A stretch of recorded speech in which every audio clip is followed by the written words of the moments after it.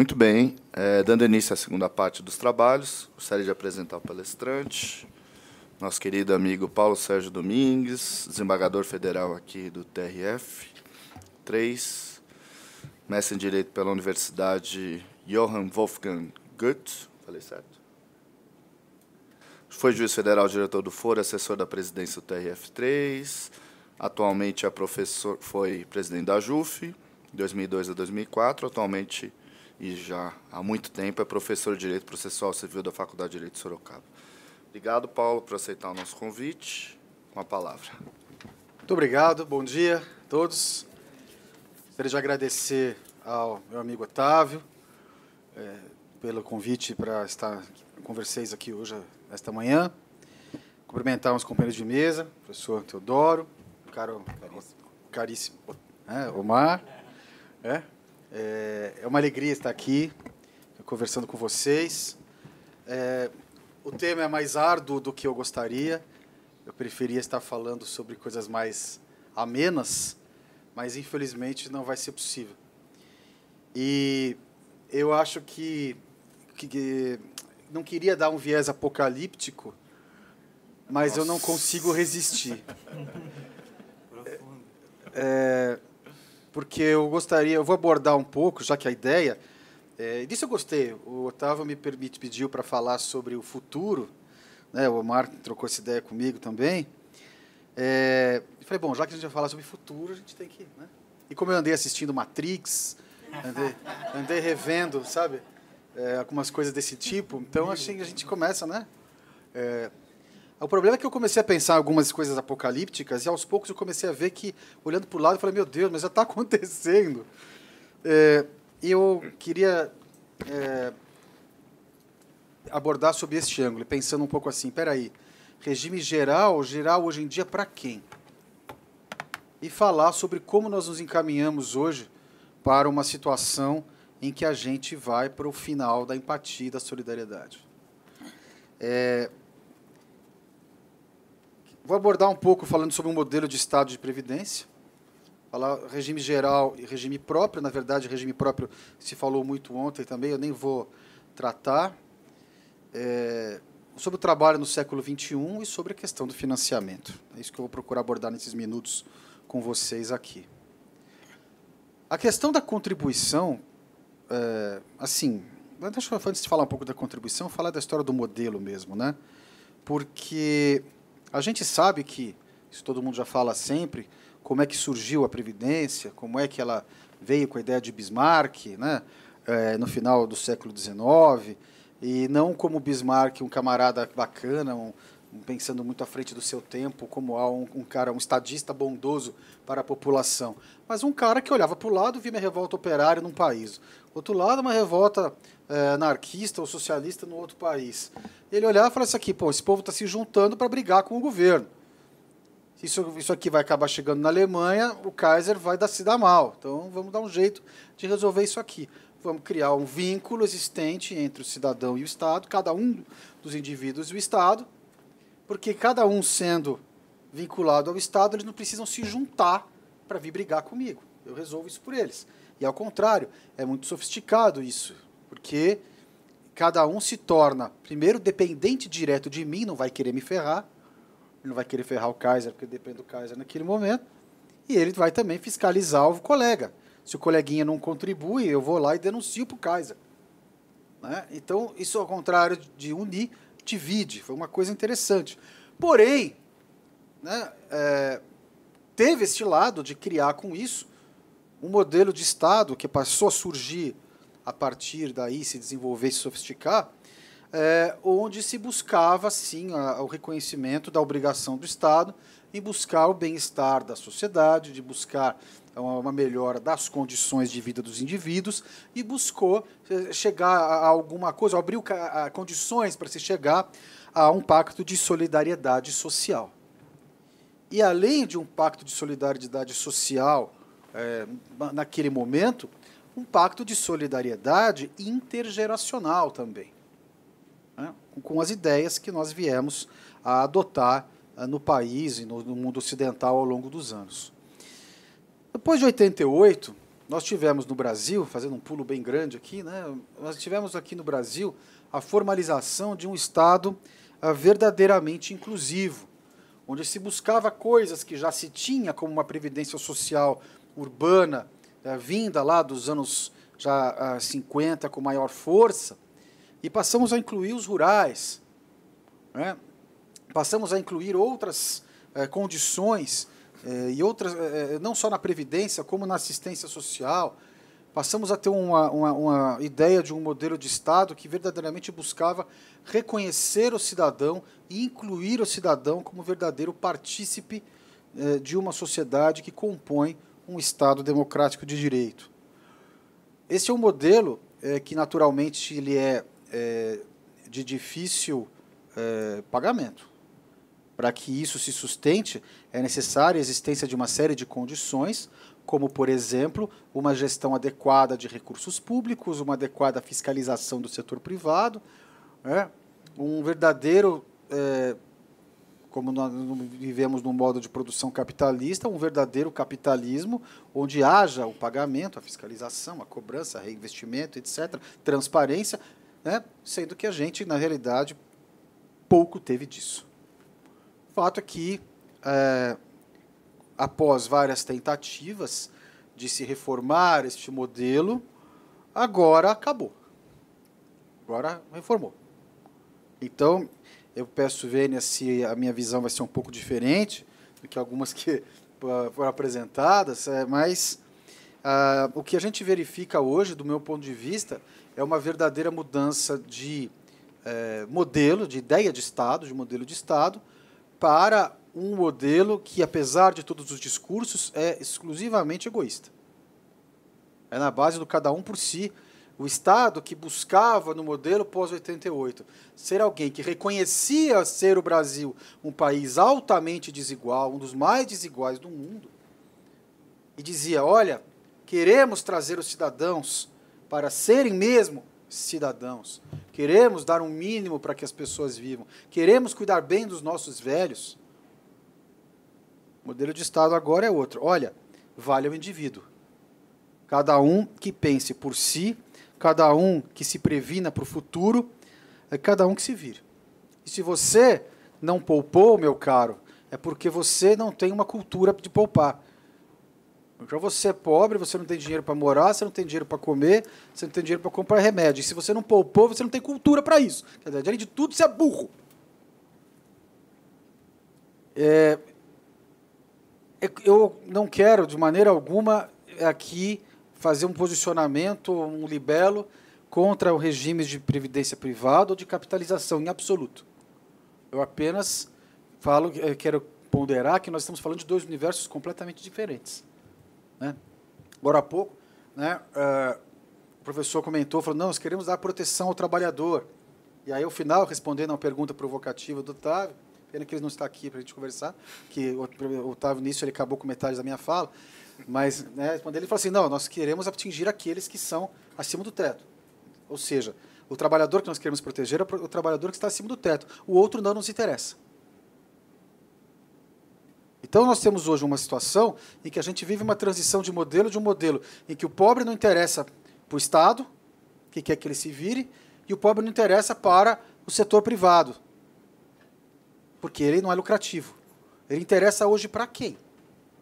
O que é o trabalho no século XXI?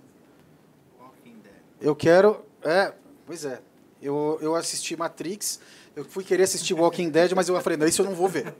Porque senão eu vou ficar com ideias piores. Tudo tem limite. É, tudo tem limite. É. E, então, é, essa transição ela é cruel. Ela foi se tentando realizar isso ao longo do tempo, mas de repente isso veio assim, e sem uma discussão de, de, qual é o modelo que a gente quer, de uma maneira que acho que ninguém acreditava que pudesse acontecer, sem nenhuma um debate dentro da sociedade, sem nada disso acontecer. Enfim, eu vou voltar um pouco a isso um pouco daqui a, daqui a pouco. É, com o passar dos anos, quem é que vai contribuir para a Previdência? Nós estávamos falando há pouco disso aqui. Quem quer contribuir? Bom, não é mais o empresário. empresário não vai mais querer contribuir para a Previdência, né? porque a ideia é desonerar. Indústria, o empregador for, o empregado formal da indústria, a indústria representava 33% do PIB em 1980, hoje é 9% do PIB. Não é mais aquele tipo de trabalhador tradicional. Indústria de serviços, bom, serviços no país eles vão diminuindo até mesmo sua importância na medida em que você começa a inserir o Brasil no mercado global, nosso mercado de serviços eh, se modifica sobremaneira. O, tem muito. A gente estava falando de, de setor de informática, gente que trabalha em, em programação ou em qualquer coisa, qualquer tipo de serviço voltado ao setor de informática, você fala assim, ah, mas tem muito o indiano que ganha um centavo por clique que ele faz ali para resolver isso, tal, tal, tal. É o indiano, sim. Aqui cada vez menos. Você está vivendo uma internacionalização do setor de serviços também. Ah, o trabalhador rural, a agricultura é, se modernizou no Brasil, ela não chama mais agricultura, chama agronegócio. Né? É, não contribui também. O trabalhador rural não contribui, o, o empregador não contribui, nada acontece, ao contrário. O que a gente vê é desoneração e anistias. Né? E é, parece que o trabalhador rural não existe hoje em dia como um ser é, jurídico. Ele é alguém que vai continuar sendo é, lidar, trabalhado dessa maneira. É um pouco triste isso. É, a gente que trabalha com isso aqui, né, acho que muitos aqui trabalham na área previdenciária aqui do tribunal. É, é, é triste a gente ver isso dessa maneira hoje em dia. É, o trabalho formal está acabando cada vez mais. Né? É um pouco a respeito dessa reforma trabalhista que a gente viu. É, e a gente viu, me lembro do slogan que a campanha é, sobre a reforma trabalhista ela trazia, lembram? Negociar para garantir direitos. Eu pensava assim, mas meu, quem inventou isso? Porque, peraí, eu prefiro. Então, então alguém, alguém chega para você e fala assim, amigo, negocie para garantir alguma coisa que antes a lei te dava, agora não te dá mais. Isso é bom para você. Oi? Eu queria saber em que universo que o empresário vai falar assim, olha, amigo, você não tinha esse direito, mas agora você tem. É, é, perdão, de contrário, você tinha esse direito, agora você não tem mais. Mas vamos negociar que eu vou te dar, ou então eu vou te pagar mais para você não ter esse direito.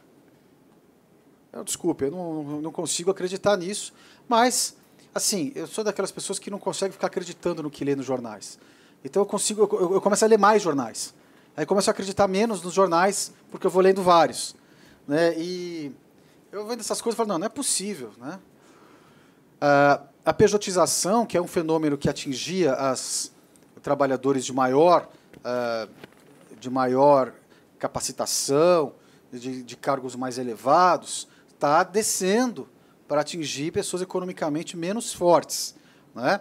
E se no sistema de uma pejotização as pessoas já não recolhiam nesse nível mais elevado, também não vão recolher agora. Né? O pessoal que trabalha com PJ recolhe, doutor? Recolhe não, né? Pois é. E a gente fala de uberização, não estou falando aqui também só da Uber, estou falando de todo tipo de empresa que não é empresa, é plataforma onde a pessoa apenas ela fornece um lugar para as pessoas se cadastrar e prestar o serviço. Bom, isso, esse tipo de situação é pior ainda do que a pejotização, porque esse sim é o Walking Dead. Ele não é um empregado, ele não é um, um, um, empresário individual, ele não é um nada, ele é um prestador de serviço sem uma espécie de proteção social. E se a, a, isso aí se, se, prolonga cada vez mais, e se o PJ não recolhe, esse vai recolher?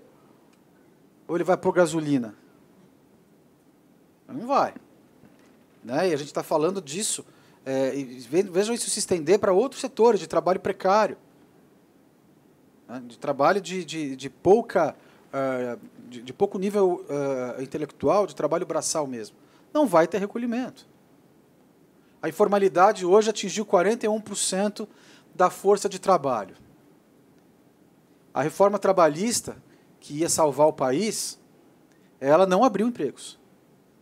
Nós tínhamos 13 milhões de desempregados, nós temos hoje 12 milhões 999 mil. E melhorou. Melhorou um pouco.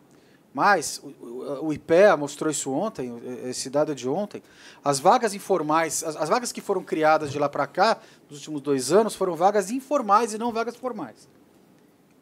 E as vagas form, eh, informais novas, um salário médio, que não é um salário, uma remuneração média, já que é informal, não sujeita nem a salário mínimo, R$ 823,49. Tem uma vírgula aqui a mais. Queria que tivesse um zero a mais, mas tem uma vírgula. É, é, enquanto as vagas informais antigas tinham uma média de R$ 1.588, ou seja, são vagas novas, porém informais, e com quase metade do salário das vagas é, antigas já existentes. Quem vai contribuir? Ah, mas agora teve outra reforma trabalhista. Eu acho impressionante. CLT precisava de mudanças? Precisava. Precisava de uma ampla discussão social, de uma desburocratização do mercado de trabalho, do mercado empresarial, na, na área tributária. A gente sempre precisou disso. Não quero voltar para os anos 30. Mas eu quero falar de modernização. Agora, ninguém ousava mexer na CLT por medida provisória da maneira como se está fazendo, sem nenhuma discussão com a sociedade. Ah, os limites estão sendo ultrapassados de maneira nunca vista. E agora a gente teve uma medida provisória, na semana passada, criando um contrato verde-amarelo. Né? E esse contrato verde-amarelo já mexeu numa outra coisa sacrossanta até então, que é o fundo de garantia. Vamos criar a cultura da poupança do trabalhador. Vamos pegar aquela poupança compulsória que ele tinha que fazer, de um salário por ano, 8% ao mês, e vamos cair para 2%. Belo estímulo a poupança. Já era ruim. Né? E piorou. É, estímulo ao primeiro emprego. Tá. Aí o cara, se é que ele vai conseguir alguma coisa, alguma contratação dessa natureza, e aquele lá que o professor mencionou, do seu que está com 55 anos, vai precisar ser colocado. Esse vai conseguir ser contratado? Alguma mudança? para a contratação dessas pessoas? Nenhuma. Então o camarada não vai contribuir no início, não vai contribuir no final da vida, vai contribuir quando? Ah, porque a gente vai ter desoneração de folha, tem que ter desoneração de folha, tem que ter simplificação, tem que ter tudo isso, concordo. Mas quem que vai contribuir? Quer dizer, tudo se encaminha para uma mudança da ideia de contribuição um desestímulo total à contribuição previdenciária. Gente, muitos trabalham com, aqui no, nos gabinetes previdenciários. É, a aposentadoria por tempo de contribuição que a gente tinha aqui é coisa de classe média, de classe média alta. Vamos combinar. Quem conseguia contribuir por 35, 40 anos? Pouca gente. Pouca gente. O que a gente vê eram pessoas que conseguiam lá atrás contribuir na, na, na época do boom operário. Ou quem já nasceu rico. Né? É, quem se aposenta por idade, a aposentadoria hoje é por idade, quem aposenta por idade é pobre. Porque que não conseguia trabalho registrado, contribuição suficiente, tinha que esperar chegar à idade mínima. E é o que vai acontecer agora. Né? Agora, o camarada que não conseguia trabalhar, ou contribuir, perdão, 15, é, 20 anos, vai conseguir contribuir por 40? Não vai. 40 anos para aposentadoria integral, né? Quem vai conseguir chegar nesse valor aí? Ao contrário, o camarada chega e vai dizer assim: bom, com 100% da média das contribuições, 60% do valor calculado no final, com 20 anos, o cara vai olhar e falar assim: não, peraí, é, é 60% do valor, é isso aqui, não, deixa eu contribuir depois, não vou contribuir agora não. Vou contribuir mais tarde, agora eu vou crescer, vou fazer a minha vida, eu vou é, dar o meu início de, de, de uma carreira, tal, lá na frente eu contribuo. Contribui nada. Essa mudança parece pequena, mas ela não é. O camarada que tivesse no teto, lá para os seus 5 mil reais, quando você inclui mais 20% do, do, do, dos meses, esses, esses 5 mil reais já viram 4.100 na hora de você fazer a conta. O camarada que ganhava é, 2 mil reais já são 1.600 fora os outros redutores. Então, o cara não conseguia contribuir antes, vai começar a contribuir mais tarde, o valor já fica mais baixo, vai demorar para conseguir, vai ter que parar de contribuir porque não vai achar emprego lá na frente, não vai conseguir contribuir depois, não vai conseguir se aposentar, vai esperar o quê? Só se adversário adotar o modelo japonês, que alguém brincou aqui agora há pouco. Né? Chega uma certa idade, ó. Não, porque aparentemente assim, a gente resolve o problema previdenciário acabando com o povo. Né? Aí não tem mais problema nenhum, liquida esse problema. Né? É isso, gente, que eu estou querendo chamar atenção para isso. A gente viver um modelo em que o Estado é um camarada, é um ente que precisa se preocupar com os seus cidadãos. E os seus cidadãos, quer dizer, os pobres. Preocupar com o rico não precisa. Preocupar com quem tem condições de fazer uma previdência complementar não precisa. Mas se preocupar com quem tem pouco. E aquele cara que tem pouco é cada vez menor, entendeu? Se antes o teto era 20 salários, depois virou 10 salários, depois não é mais salário, agora é 5 mil, que é mais ou menos 5 salários. Talvez esteja um outro jeito de resolver. Transforma o teto em dois salários, todo mundo que está acima de dois é rico. Só se for assim, para resolver o problema. Mas ninguém desse jeito, pessoal, não vai ter confiança na contribuição, no, confiança que o Estado vai uh, honrar aquilo que ele promete. E se ele conseguir guardar, ele não vai contribuir. O que, que ele vai fazer com esse dinheiro? Vai fazer com outra coisa, vai, vai, vai poupar de outro jeito, que eventualmente pode ser esse o objetivo da coisa toda, né? Pode pegar e poupar esse dinheiro numa previdência privada ou numa outra aplicação financeira, mas não mais para o Estado. Não mais o Estado agindo como agente de arrecadador para redistribuir e diminuir a desigualdade de um dos países mais desiguais do planeta. Então é isso. Em resumo, é esse: o empregador não vai pagar, o autônomo pejotizado, precário, não vai pagar. Daqui a 10, 15 anos, o governo vai dizer: olha, o déficit aumentou. Claro que aumentou, não arrecada mais. Só gasta. Vai dizer, tá vendo? O Estado está quebrado por causa desses caras que. É, você lembra, uns 20 anos atrás, assim, esses vagabundos? Né? É, e aí, se tiverem sorte, aí uh, vai ter que fazer de novo uma outra, uma outra reforma previdenciária, vai ter que achatar o benefício novamente, não é? E essas pessoas vão ficar ao desamparo. Se tiverem sorte, vão conseguir um benefício assistencial. O que é pior para o Estado hoje em dia, porque o Estado vai então ter que pagar para uma pessoa que nunca recolheu nada. Quando o Estado ainda recolhia um pouquinho e a pessoa recebia no final, você estimula a cultura da poupança, do pagamento, o Estado devolve um pouco, redistribui e tal. Agora não, a cultura que se cria é outra. Eu não vou contribuir nada, lá na frente eu consigo um benefício assistencial. Tá bom, eu não concordo que as pessoas não queiram trabalhar porque um dia querem esperar receber alguma coisa do Estado. Não acho essa história, pelo contrário. Estou dizendo que o que acaba acontecendo é o camarada olha para o lado e fala: pô, eu contribuí 30 anos, ganho mil reais. Outro cara lá não contribuiu nada, ganha também. O que, que eu vou dizer para meu filho agora? Contribui ou não contribui?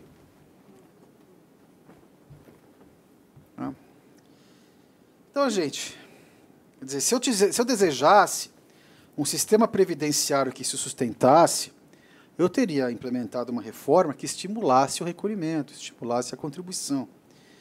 Quer dizer, então o cara vai olhar para frente vai dizer assim, daqui a pouco vão aumentar a idade mínima e vão diminuir o benefício. Eu vou contribuir para quê? Então, lógico que vai ter um déficit maior, é um desmonte do sistema, é um retorno a uma era pré-Bismarck. E eu não acho, não concordo com aqueles que dizem que o que acontece no Chile é o que aconteceu no Brasil em 2013. Eu acho que o que está acontecendo no Chile é o que aconteceu no Brasil em 2035. Sabe? A gente está abandonando, pessoal, o paradigma da empatia com o outro, da preocupação social, da solidariedade intergeracional. Nós estamos voltando ao tempo em que aquele neoliberalismo dos anos 90 falava que os aposentados eram vagabundos, eram parasitas. Sabe? Quer dizer, o Estado não quer mais cuidar dos seus velhos, não quer cuidar de uma poupança para a velhice, naquela relação direta que havia entre o cidadão e ele. O que ele quer é lavar as mãos e dizer isso é problema da iniciativa privada. Que está se preocupando atualmente apenas é com, não é com aquele pobre que precisa mais, está se preocupando com aquele que tem condição de contribuir, porque, claro, é isso que é mercado. Né? Nós vamos criar uma geração uh, de Walking Dead. Né? É, empatia, né, vem do grego, né, do empatia, né, da paixão, que é paixão, ou é o entrar no sentimento, é, em geral representando a comunicação é, afetiva entre as pessoas. Isso já era com este modelo. Solidariedade intergeracional, quer dizer, se não existe compreensão da posição do outro nesse mundo individualista, como é que vai haver compreensão da situação da geração futura? É, a reforma da Previdência ela virou número, virou uma questão apenas econômica, não mais uma questão social. É, e, de novo, não estou falando de Suécia, não estou falando nem de Estados Unidos, nem de Chile, nem de nada disso, porque nenhum desses tem característica de desigualdade que a gente tem. Né? É, e, e, um país assim não se sustenta. Eu não vou nem falar aqui, gente, de regime próprio do setor público. A gente já falou, já se falou bastante antes. A nossa situação daqueles que pode fazer ainda uma previdência, isso não é dúvida, uma previdência privada, não há dúvida. A gente tem características de, de remuneração e de estabilidade que permite isso, coisa que a maioria das pessoas não possui. Né? E nem adianta falar, não adianta, não adiantava dizer assim, previdência eh, do setor eh, público já está equacionada, já tinha desde 2003 né, eh, outra maneira de, de, de, de, contribuir, já tinha outros fundos, etc. No que nos diz respeito, só destacaria dizer, de novo, qual é o modelo de Estado que se pretende ter. Qual é o modelo de serviço público que se pretende ter. Né? O modelo de Estado mínimo não quer um serviço público nem de qualidade, nem nada, quer um serviço público zero, menor, quanto menor, é, quanto menor, melhor. E para eles, esse modelo, nós somos os, o que eram os, nós somos os bancários dos anos 2010. Nos anos 90, você ia lá, eu tinha escritório no centro, a gente né, via passeata dos bancários, greve dos bancários. Hoje não tem mais bancário para fazer greve. Né? Para esse, esse modelo, nós somos os, os bancários, nós somos os caras para serem eliminados dessa forma. Tá? Bom, sobrou o benefício mínimo. Vai ser um grande BPC para todo mundo. É, o benefício mínimo, já, a aposentadoria de um salário mínimo é 70%. Vai ser mais ainda. Em 10 anos vai ser mais ainda, com toda certeza. Tá? É aí que vai, nós vamos acabar chegando e eu não acredito que a gente mude muito disso. Sobre tecnologia e o novo mundo do trabalho. A a utilização do Big Data, de, de tratamento massivo de informações, a, o crescimento do machine learning, né, de você ter as máquinas aprendendo a aprender, realizando tarefas automatizadas é, que um ser humano realizaria, vai aumentar ainda mais o mercado de trabalho. Porque se o mercado de trabalho ele se desloca para o setor de serviço, o setor de serviço é o setor que os robôs estão conseguindo entrar agora. Não entravam antes, mas estão entrando agora. É? é e vai ter menos lugar para todo mundo. Não vai ter lugar para tanta gente assim. É, temos um milhão, mais de um milhão de advogados, né? E no, no Brasil, é, li uma matéria outro dia, já um ano mais ou menos. Me lembro que é, era tipo mês de julho, agosto, julho, assim que saiu a matéria. E aí eu cheguei para meus alunos em agosto e falei: quem que lê a matéria que diz que daqui a 10 anos metade dos empregos de advogado vai desaparecer? Aí todo mundo levantou a mão, né? Falei: bacana. Quem foi que fez nessas férias algum curso de direito para se aperfeiçoar? Dois levantaram a mão. Assim. Quem fez um curso de idioma? Aí três falaram assim: o quê? Inglês. Falei: inglês não conta. Falei: idioma. O inglês hoje todo mundo fala. Quero saber outra coisa. E Excel? Não, ninguém. Falei, quem é que leu a matéria inteira, não só manchete? Meia dúzia só que levantou a mão. Falei, quem que repassou a matéria adiante? Para dizer que, olha, eu prestei atenção, olha só. Aí todo mundo levantou a mão. Falei, bacana, você descobre que daqui a pouco metade dos empregos de vocês vão embora, vocês não fazem nada para se aperfeiçoar e melhorar, e ainda avisam a concorrência. Super inteligentes. Né? É, mas não adianta, vai ter menos gente empregável. Vai ter mais robôs fazendo o trabalho.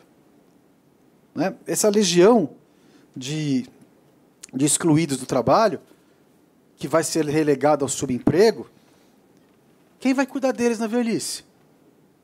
Com, com menos filhos. Antes o problema era muito filho, agora o problema é pouco filho. Quem que vai cuidar deles na velhice? Vai sobrar o quê? É... Alguns exemplos.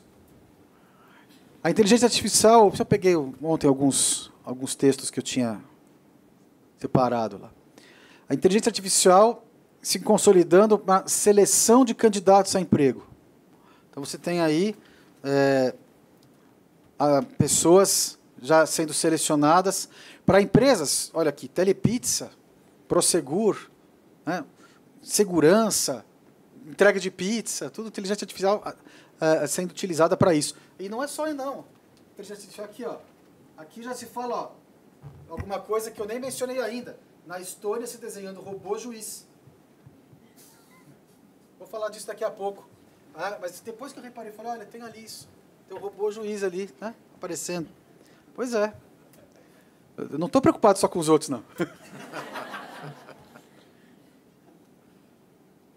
Serviço de reconhecimento facial para igrejas no Brasil, já existente sendo lançado para igrejas. Qual a ideia? Analisar. Será que o pastor está empolgando suficientemente a plateia? Como é que as pessoas estão reagindo? Tá bom, tá ruim, né? É... Aí vocês estão olhando e falam assim, nossa, mas que coisa, né? Fazer, falar isso na igreja. Ainda bem que isso não me afeta, né? Bom, afeta. Se você trabalha no restaurante, a tecnologia de machine learning hoje, ela vai analisar as expressões dos, dos funcionários e vai verificando não só o tempo que ele chega para chegar naquela mesa ou não, ele vai é, verificar também se as expressões dos seus do funcionários são alegres ou tristes. E vão lembrar e vão verificar também ó as suas expressões para saber se vocês estão alegres ou tristes, se vocês gostaram da comida, se o garçom atendeu bem. Ninguém perguntou para vocês se vocês querem ser filmados e ter a, suas, a sua análise nas suas expressões é, feita, né? Mas já pensou? Você vai poder, você vai poder brincar, você vai fazer uma careta para, eu não gostei desse garçom, fazer uma, fazer uma careta para dizer que não gostei. É, é complicado, né? Isso não é só na igreja que vai ser utilizado, vai ser em todo lugar. Já pensou na sala de aula? Você vai avaliar o professor de acordo com as expressões dos alunos. Os alunos começarem a não olhar muito, fazer cara feia, ficar só no celular, aí é sinal que o professor não está indo bem. Né? É,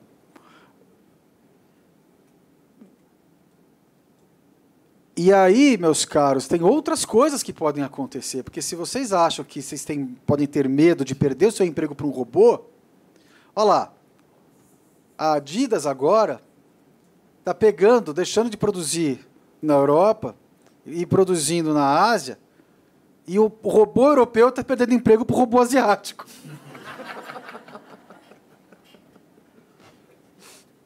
Olha só que ponto chegamos. Não é? Não, isso aí não é mais Matrix, agora é Blade Runner. Né? Então, assim, é isso aí. Os asiáticos estão, os robôs asiáticos estão levando o emprego do robô europeu. Então, e, e o nosso trabalho, como é que vai ser? Já pararam para pensar? A gente hoje acha bacana, porque a gente faz teletrabalho, a gente trabalha com processo eletrônico, a gente consegue né, assinar à distância, a gente consegue fazer um monte de coisa e tal. Como é que vai ser daqui a pouco? Vocês já pararam para pensar assim, um exercício de futurologia? Vai ter menos trabalho ou vai ter mais trabalho? Vai ter mais, né? Vai ter mais processo ou menos processo? Eu acho que toda essa tecnologia ela pode nos empurrar para ter menos processos. Só que, infelizmente, tem um outro fator aí que entra em cena. O primeiro é que a gente tem 1.600 faculdades de direito do Brasil, que colocam 50 mil no mercado por ano, Enquanto a gente fica aqui falando de cultura da conciliação, redução do número de processos, eles ficam falando em mais advogado e mais processos. Esse povo precisa comer. Está propor ação. Não propõe ação. Né? Então, enquanto a gente fica falando de menos litígio, eles falam assim: queremos mais litígio, vão litigando mais. Quem vai ganhar essa briga? As 1.600 faculdades de direito ou nós? Nós vamos perder. E como é que a gente vai lidar com isso? Com mais vara, com mais servidor, com mais juiz? Não vai dar. Até porque, por enquanto, é a quantidade, essa quantidade de profissionais que leva mais ações. Daqui a pouco, né, a doutora lá vai ter que começar a se preocupar com o robô também. Né? Que é, já tem plataformas de eu vou terminar já. Hoje você já tem plataformas de acordo né, informatizadas no celular, beleza. Mas isso não é mais moderno. Você tem robô não só indo querer eh, representar clientes lesados para corporações contra a empresa que ele criou a lesão. Você tem o robô comprando o direito daquele consumidor para litigar contra a empresa que causou aquele dano. Então você tem ali, é, em Hong Kong, das manifestações, as pessoas que sofreram atraso por causa do, das manifestações do aeroporto de Hong Kong, o robô vai procurar para saber quem são as pessoas, para poder propor a elas que compre o direito delas de ser indenizado pelo atraso. Eu não sei se da empresa aérea ou da infraero de Hong Kong, sei lá como é que chama, mas vai comprar esse direito. E ele não precisa mais ir atrás, hackear as, os sites das companhias aéreas para saber quem são as empresas, eh, quem são as pessoas lesadas. É fácil, é só procurar no, no Facebook ou no Instagram. Né? Quem aqui não coloca uma selfie? Olha aqui no aeroporto de Hong Kong, atrasado. Cinco horas, ninguém merece. Odeio essa expressão, ninguém merece. Ninguém merece. É? Aí você já rastreou, você encontrou isso, você manda proposta, tudo automático, você compra o direito.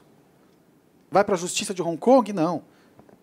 Esse robô vai, vai negociar com o robô da empresa, da Infraero de Hong Kong, vai negociar com a empresa e vai ver a indenização razoável a ser acertada. Só se não der certo é que isso vai para uma, um litígio. Que esse robô vai propor ação. Esse robô vai propor ação, quem vai contestar? Quem vai contestar vai ser outro robô. E quem vai julgar? A gente, é, hoje, recebe dá conta, procura dar conta de tudo isso. Mas eu acho que a gente trabalhou no acesso à justiça nos anos 00, na década passada, e a justiça já era congestionada, tal. Hoje o acesso é bastante garantido, mas não vai dar para aumentar mais a quantidade. Não, não tem mais por onde crescer isso tudo. Eu tenho brincado falando da, da de que a justiça vai ser mais ou menos como ligar para a concessionária que se pode chamar de, de TIM, de Claro, de, de qualquer uma, de Vivo, de Eletro, qualquer coisa, tanto faz. Mas há 10 anos a gente ficava furioso quando ligava e não era uma pessoa que atendia. Hoje é a coisa mais normal, a gente fica furioso.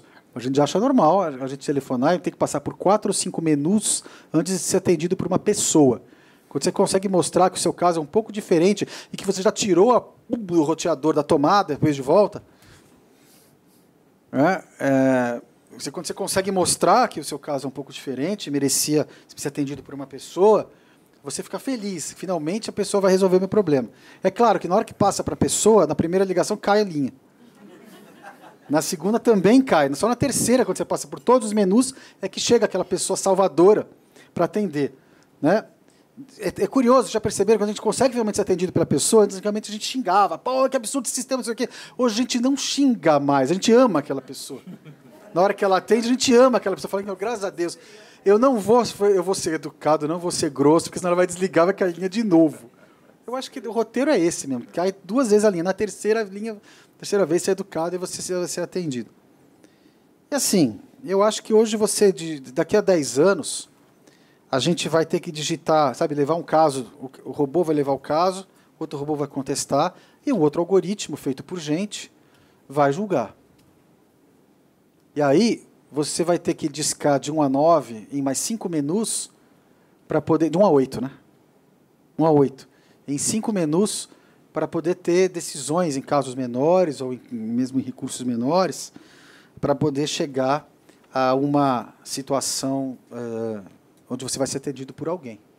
Então, o juiz é, de amanhã é o atendente da TIM de hoje. Para você conseguir chegar a um juiz humano, você vai ter que passar por cinco menus, onde só tem até a opção 8.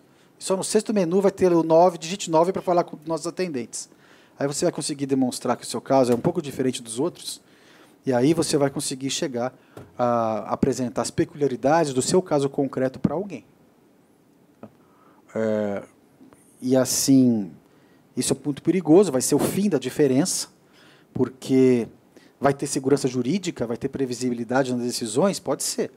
Mas para você conseguir encontrar esse distinguish, para conseguir chegar a uma evolução jurisprudencial, vai ser a coisa mais difícil do mundo. Né?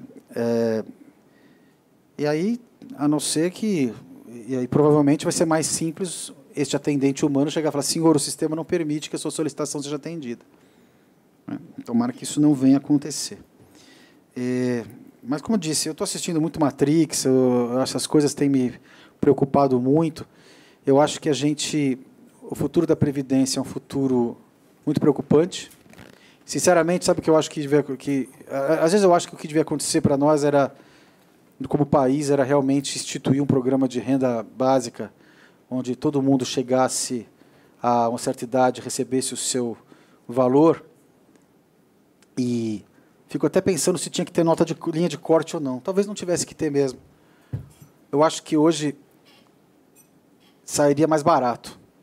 Se a gente parar para pensar o que tem hoje de é, advogados, inclusive defensores públicos, propondo ações, advogados públicos defendendo, servidores e magistrados processando os feitos, recorrendo, julgando em segundo grau, em terceiro grau, fiscalização de a, fiscalização que é feita, as análises, as perícias e tudo mais, eu tenho eu tenho para mim que acho que sairia mais barato se resolvesse isso tudo de uma vez só mais, talvez mais barato para o país.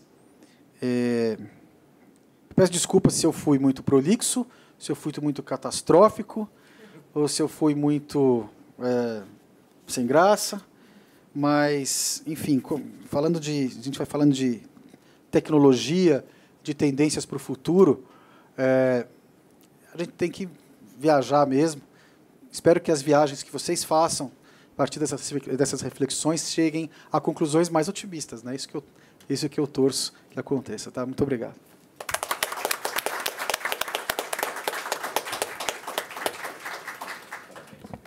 Grande Paulo.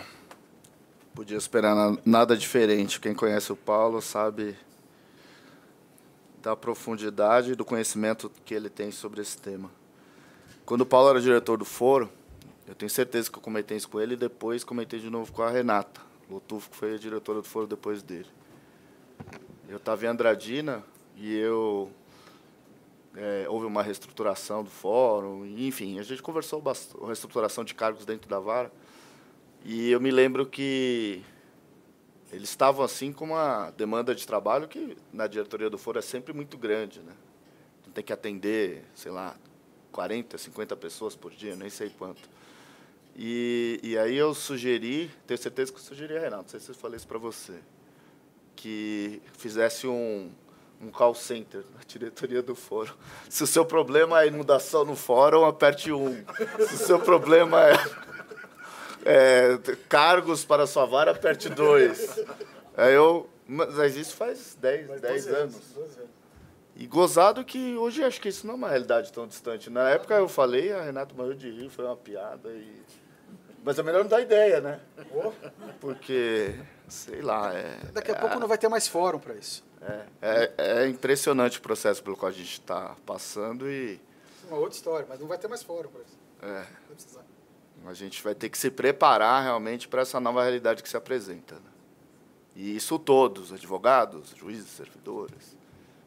É bem interessante isso. Bom, vamos abrir para perguntas. Omar? Queria fazer algum comentário? Só, só cumprimentar, eu só queria fazer uma colocação. Mas é um pouquinho, era meio pessimista, então eu não sei se. Ó, pessimismo hoje chega, hein? Não, é, agora é só falei, otimismo vai... frente. Não, o meu receio seria o seguinte, agora voltando um, po um pouco, tem essa questão da tecnologia que eu também sou um pouco pessimista, mas acho que também tudo isso a gente pode tentar virar. Quem sabe, eu acho que é ganhar consciência e tentar reverter. Porque a tecnologia foi feita para nós, não é possível que ela seja feita contra. Até só falar um segundinho, 1993, quando o Omar fala, é sempre coisa antiga.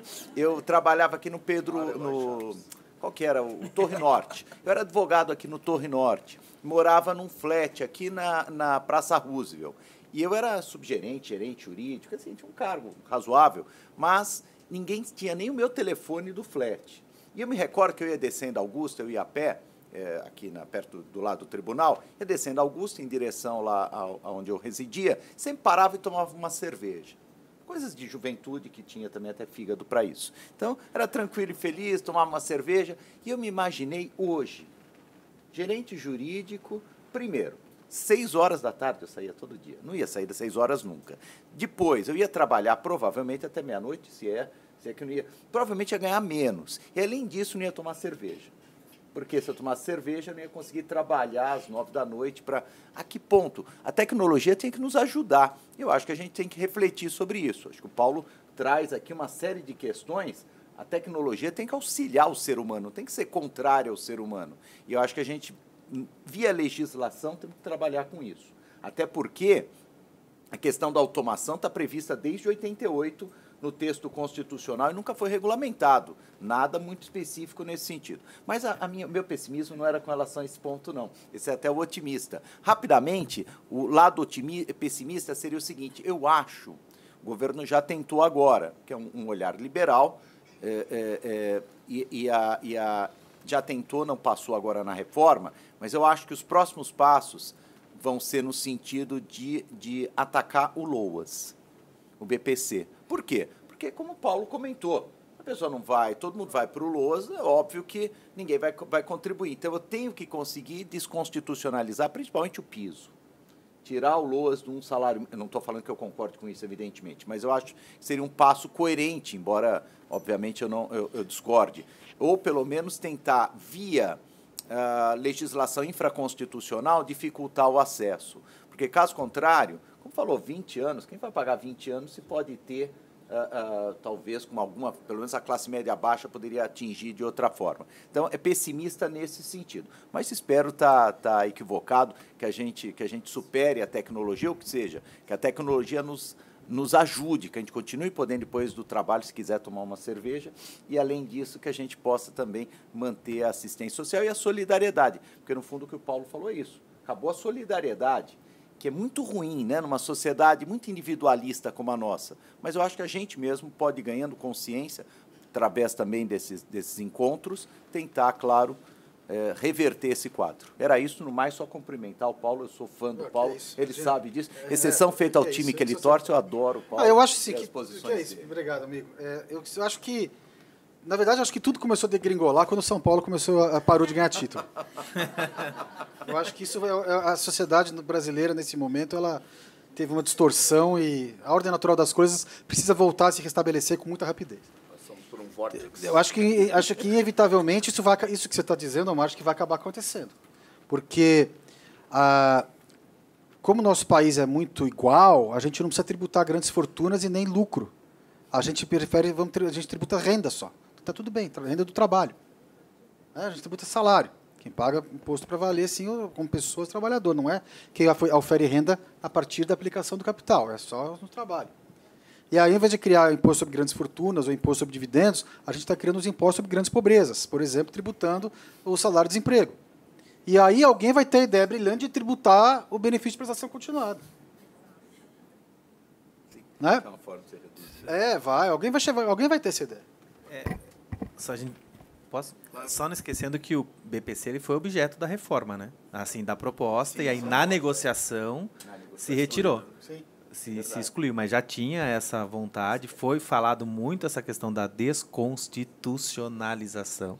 Foi um tema muito batido também e que teve um recuo e aí estou falando aqui, né, a minha visão, mas teve um recuo, ao meu ver, estratégico momentâneo e não tenha dúvida que em 2020 voltará com, com muita força.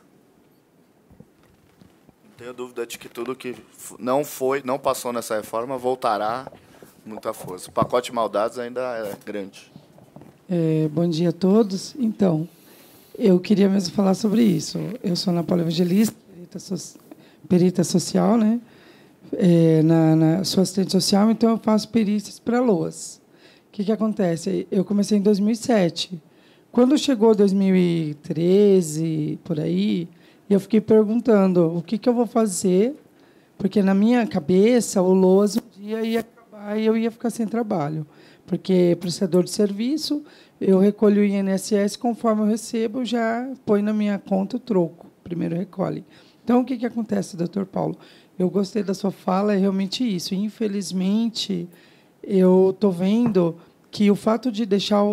Falaram que não vão mexer no LOAS, mas o LOAS, é, por lei, não se o INSS se negava a pagar um LOAS quando tinha um benefício em casa. Não se paga dois LOAS. Então, se você é, tem uma aposentadoria por idade, pode-se pagar um LOAS naquela casa.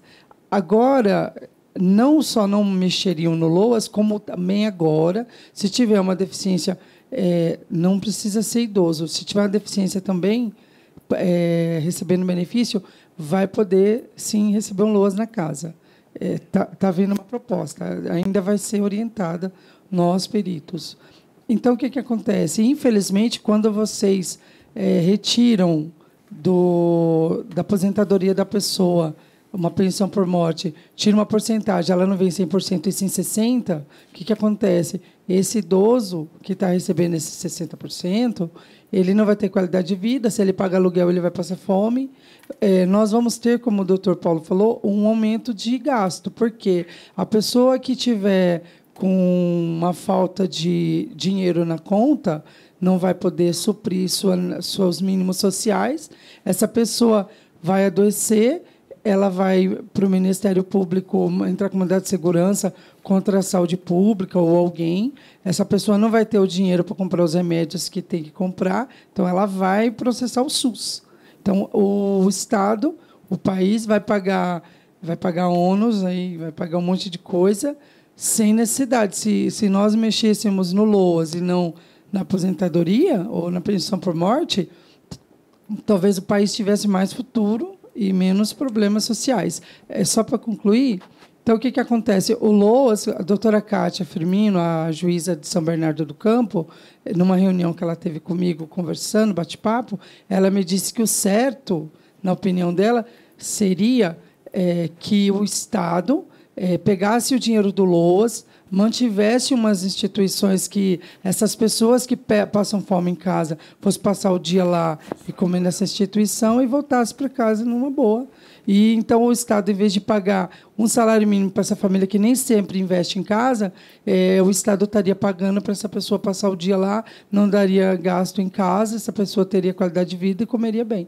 Então eu concordo com isso. Infelizmente o LOAS no futuro vai ser a opção de muita gente, infelizmente, né? É, e acho que o Loas, ele também, como, como nas aposentadorias, como aposentadoria especial, como uma série de outras coisas, o Loas também tem distorções Sim. que precisam ser resolvidas e não simplesmente eliminar as coisas. Né? É, o que a gente faz muito é isso. No Loas, eu não sou o maior concessor de Loas aqui nesse tribunal, todo mundo sabe disso. Eu acho que há distorções. Você tem, se é verdade que você não tem um quarto do salário mínimo como parâmetro único para poder é, negar o LOAS, tem que ver as condições objetivas que aquela, aquela família certo. vive. Eu também tenho sempre decidido assim. Então, você também não é um critério único para se conceder o LOAS. Tipo, se a uhum. renda da pessoa é inferior a um quarto de salário mínimo, você concede. Você olha, vê como é que é a casa, você acha que está tudo bem, alguém está pagando, então tem alguma coisa errada ali, e aí eu não dou. Uh, há distorções, como se você exclui a renda de um idoso, exclui a do outro idoso, exclui a do outro idoso, quando você vai ver, aquele núcleo familiar vai ter quatro loas. Não foi para é, isso que foi criada a, a, criado a lei para instituir esse tipo de benefício. É, e acaba acontecendo isso muitas vezes. Né? É uma das situações que a gente. Que, que é, eu acho que o que vai acontecer é isso. Essas distorções vão ser utilizadas como desculpas para é, restringir ao máximo a, a concessão de benefícios, não apenas na, na, na área do LOASMA, na esfera da, da, dos benefícios de aposentadoria também. Acho que é isso que vai acontecer. É isso mesmo, muito obrigada. Eu tenho só medo de. Não, não, eu tenho que me qualificar logo, porque se o LOAS acabar, eu tenho que ter trabalho, né? Vamos para uma ZONG, passar em concurso público. Obrigado. O problema é que concurso público não vai ser garantia de trabalho. Pois é, né? Então, eu estou indo para nessa semana para ficar de perita lá, se Deus quiser. Estou uhum. precisando de um perito social, preciso ficar na região. Uhum. Mais perguntas? Eu tenho uma, posso? Claro. Na verdade, assim, eu vou aproveitar aqui o um momento, né, enquanto advogado, para perguntar para os três. É, já que a gente nós estamos falando aqui de mudanças, alterações, isso acaba que vem tudo para o judiciário mesmo. Isso é, é, irrefutável, tal como a questão do benefício assistencial, que é muito debatido. Mas a gente tem uma alteração, a gente até vem brincando muito, né, em conversas extraoficiais, brincando com o trágico até, infelizmente, porque ocorreu uma mudança na, na questão do benefício por incapacidade. O cálculo da aposentadoria por invalidez ele é mais maléfico agora do que se o sujeito estiver recebendo o auxílio doença. Então, na verdade, vai ter meio que uma inversão, né? a gente brinca. O cara vai para a perícia, perito fala para ele, não, olha, o seu caso é de aposentadoria por invalidez. Não, não, não, não. Minha incapacidade é só temporária, não é total. Eu estou bom, posso ainda ser reabilitado, me deixe no auxílio doença. E aí, na verdade, a minha indagação, provocação, é, é claro que aqui a gente está só num debate, não é formando opinião, nem é, de certa forma, vincular, vincular, vincular vocês a nada, né? Mas seria o, a, a, questão do entendimento. O sujeito está recebendo auxílio doença e, eventualmente, ele tem uma progressão, então, para aposentadoria por invalidez.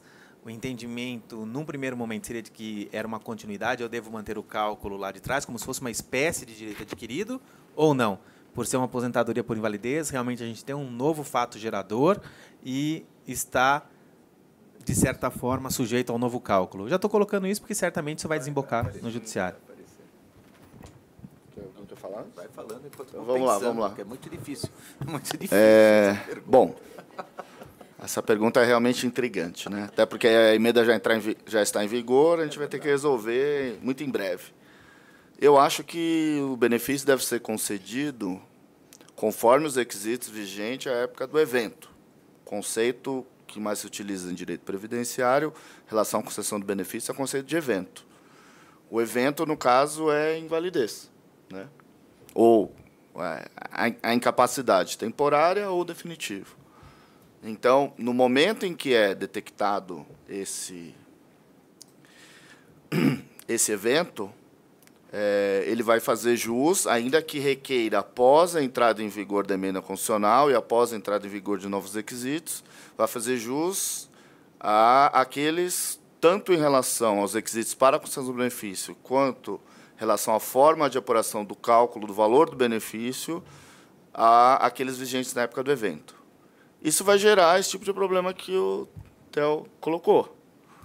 Dizer, como é que aí o, o segurado teve um auxílio doença que começou é, antes, que é, a incapacidade temporária começou antes da entrada em vigor da emenda e que depois evoluiu para uma aposentadoria por invalidez, em que a incapacidade transformou-se definitiva após a entrada em vigor da emenda. Acho que é exatamente essa situação.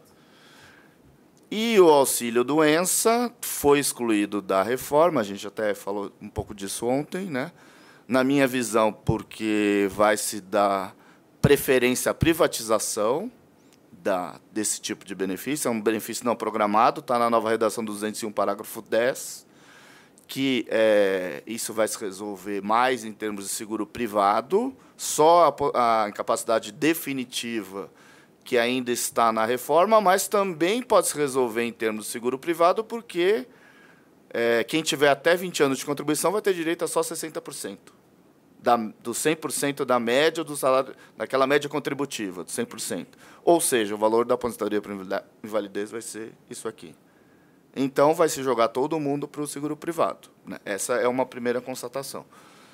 Segunda constatação, nesse caso prático, é, ele vai ter, se a incapacidade era temporária antes da emenda, transformou-se definitiva após a emenda, ele realmente vai ter é, esse achatamento no valor do benefício. Né? É, na verdade, vai ser muito mais interessante provar que a incapacidade nunca se tornou definitiva, foi sempre temporária, ou ainda foi decorrente de acidente de trabalho, porque acidente de trabalho tem uma sistemática muito mais favorável em relação ao cálculo do benefício. Então, teremos uma avalanche de ações de acidente do trabalho, né? ainda que o, que o segurado tenha né, a, a causa da incapacidade dele tenha ocorrido a 200 quilômetros do local de trabalho dele, vai se querer se comprovar esse nexo causal entre a atividade dele né, e, a, e a incapacidade. e, é, e uma avalanche de é, auxílio-doença. Né? Ninguém vai querer mais aposentar por invalidez. É complicado. É complicado mesmo. Por favor, Paulo. Não, não. Eu, eu, eu, vou ter que pensar, vou ser muito sincero. Não, não, é muito difícil essa questão, mas tem uma questão que vai ser pior. Se realmente permanecer, vamos dizer, a aplicação da lei. Olha, você recebe menos com a aposentadoria por invalidez. O que, que vai acontecer? Você recebe a aposentadoria por invalidez hoje, você volta a trabalhar. Você volta a trabalhar, considerando, vai, irregularmente, que seja só para forçar alta vai ter a forçar, todo mundo vai forçar alta, porque é fácil forçar alta. Só chegar na perícia e falar o seguinte, olha, eu, eu quero agora trabalhar em outra função, é, é mais fácil. Nesse caso, depois eu entro com o requerimento e consigo um auxílio-doença. Talvez a pessoa vai, vai pleitear vai ser uma inversão de valores. Talvez a construção ela aconteça como aconteceu com outros temas de previdenciário. Por exemplo, lembra a questão do, do da aposentadoria por idade que nós tínhamos que analisar se a carência era, como vemos até hoje, se era quando você completa a idade ou requerimento administrativo. Você vai olhar a lei, está escrito o quê? Só requerimento administrativo. A gente fez uma construção de razoabilidade. Falava, bom, isso aqui é ilógico. Essa falta de lógica, trabalhando talvez com, a, com o princípio da proporcionalidade, possa valer, fazer com que a gente fale, não tem, para evitar uma distorção absoluta do sistema, tentar acoplar o sistema e manter o mesmo valor talvez a título de construção. Vou ter que refletir, acho que todos é. nós, claro, ah, mas a, a, a, distorção vai ser total. Vai ter muita gente entrando na justiça para pleitear a conversão de aposentadoria por invalidez em auxílio-doença. É. Veja, chegamos ao, ao é. praticamente. não é? Do, do melhor benefício. É. Sim, sem dúvida. Que melhor benefício? Em valores, né? Se ainda houver benefício. Esse negócio de melhor benefício acabou. É, é, é interessante, por favor, Paulo. Desculpa, né? Antes de responder, eu queria fazer uma pergunta para o senhor, devolver, professor. Só uma, simples. O senhor acha que isso aconteceu de propósito ou sem querer? Claro que é proposital, né? Nada, nada é por acaso, né? Existe uma a palavra da moda, né? A disruptura. Então existe uma disruptura de, de de tendências previdenciárias e tudo mais. Sem querer, não é. Não, Agora, esqueceram, de, não esqueceram de falar do auxílio doença. Não, não, claro que não. Na minha opinião, não. É. E, e, aliás, 2020, a resposta, é, com certeza, nós vamos estar conversando. Ainda falou, está aqui a resposta que não foi sem querer. É. Porque vai caminhar, sim, para um sistema é, privado. Ainda tem a questão do modelo, que eu acho que vai ter um bracinho estatal bem pequenininho, mas quem quiser mais vai ter que ir para o privado. Eu concordo que não foi sem querer. Eu não sei o que eu acho. Eu não tinha tentado para isso até ontem, quando vocês comentaram aqui no, sim, sim. Na, na sessão aqui de ontem, e achei muito interessante. Acho que o que vão dizer no final é que a interpretação que vai ser dada vai ser essa. Dizer, não, enquanto era um benefício de caráter provisório, você procura manter aquele valor, aquele padrão. Quando se torna um caráter, em caráter definitivo, você aplica o redutor, que vai ser uma coisa de longo prazo, que vai ter um custo, tal, vai ser isso que vão acabar dizendo. Não sei o que eu acho, não. Só estou falando o que eu acho que está tá com jeitão de que vai difícil mesmo. Tem que refletir. Eu já sei o que eu acho, mas acho lógico. Então eu não sei se, se o que vai prevalecer. Não é que eu acho. Eu acho lógico conforme essa, essa revolução previdenciária que não tem muita lógica em determinados pontos. Mas deixa para lá. Bom, enquanto temos todos os nossos empregos, é, Vamos lá. É, gostaria de encerrar o evento, agradecer mais uma vez o apoio recebido da Escola de Servidores da Justiça Federal de São Paulo, da ABRAP, da Caixa Econômica Federal e do Banco, do, do Banco Itaú. Agradecer muito o apoio, primeiramente do Omar, grande amigo, que é, ajudou muito na coordenação do evento, na escolha dos temas. Espero que seja o primeiro de muitos que façamos juntos. Né, o tema está na ordem do dia, a gente vai precisar discutir com os servidores públicos, com a advocacia, com ver se a gente traz o Bruno Bianco aqui para né, espero que ele apareça, enfim, com o executivo, né, com o governo que está participando, é, que gestou toda essa reforma. E um prazer, mais uma vez, estar aqui e dividir o tempo com todos vocês. Agradeço a presença de todos e dou por encerrado o evento.